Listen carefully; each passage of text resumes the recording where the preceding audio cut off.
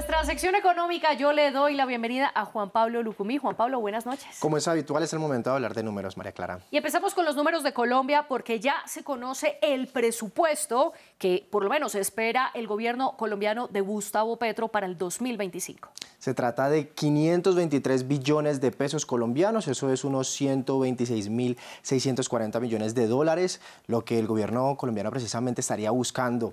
De ese monto la mayor parte se encuentra financiada, pero hay una pequeña fracción, unos 2.700 millones de dólares del total, que están sujetos a que se apruebe una ley de financiamiento, que no es otra cosa que pues, una inminente reforma tributaria que el gobierno de Gustavo Petro pretende presentar en las próximas semanas ante el Congreso colombiano. ¿Cuáles son los pilares o los puntos más importantes de este presupuesto? Ya se sabe que la mayoría del dinero se tiene pensado para salud y ajustes del sistema pensional, pero hay más detalles en las declaraciones del director de presupuesto de Colombia. Escuchemos.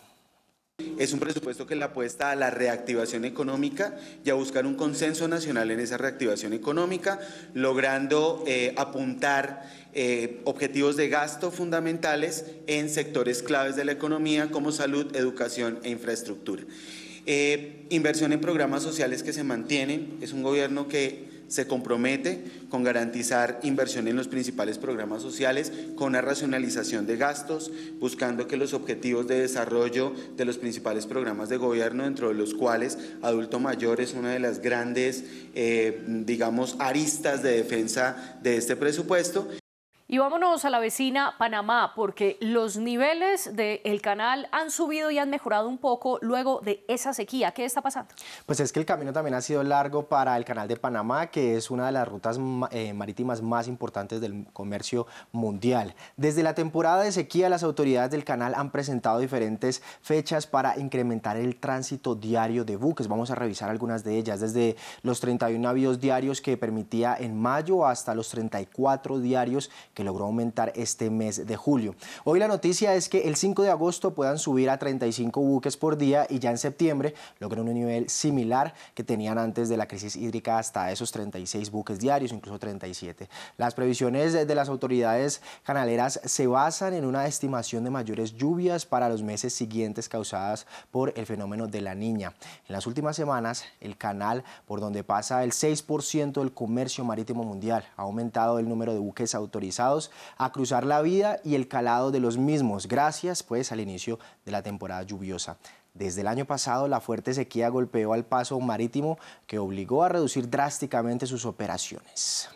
Bueno, y ahora hablemos de tecnología y de vehículos, porque Tesla va a retirar casi 2 millones de carros de Estados Unidos y no es la primera vez que lo hace en este año.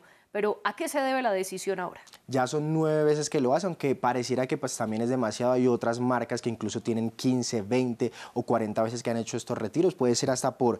Eh, fallas mínimas, habría que decirlo, pero en este caso son exactamente 1,85 millones de vehículos, muy cerca a esos 2 millones que estaría retirando y que pues esta vez es por el posible riesgo de que el software falle al detectar un capó destrabado. Esto quiere decir que estos vehículos están fallando y su capó podría abrirse por completo o de la nada y por ejemplo obstruirle la visión al conductor o pues que sea esto también que aumente el riesgo de un accidente. A mediados de junio Tesla comenzó a implementar una actualización de software inalámbrica para solucionar el problema pero con este riesgo ya se empezaron a hacer los retiros de los vehículos de los modelos 3, Model 3, Model S, Model X, Model Y también de los periodos 2020 a 2024. Como ha ocurrido con otros proveedores asiáticos en Tesla, esta vez la falla está relacionada con un pestillo de capó producido en China por Mag, Maga Closures y pues esta es, lo decíamos, la novena vez, pero también en otras ocasiones, por ejemplo, ha tenido fallas con proveedores de Japón. Habría que ver qué es lo que pasa con pues, las entregas de este lado del mundo.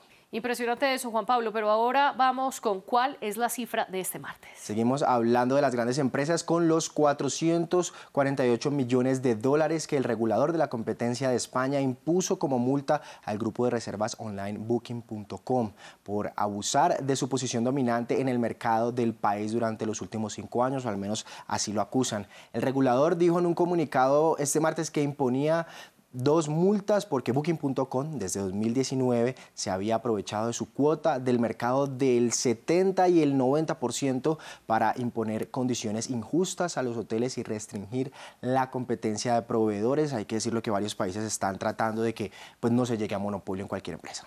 Bueno, una multa bien merecida. Entonces, Juan Pablo, gracias por las noticias económicas. En minutos estaremos aquí, María Clara. Y mientras usted regresa, yo les propongo a ustedes, nuestra audiencia, que continúen aquí en el debate.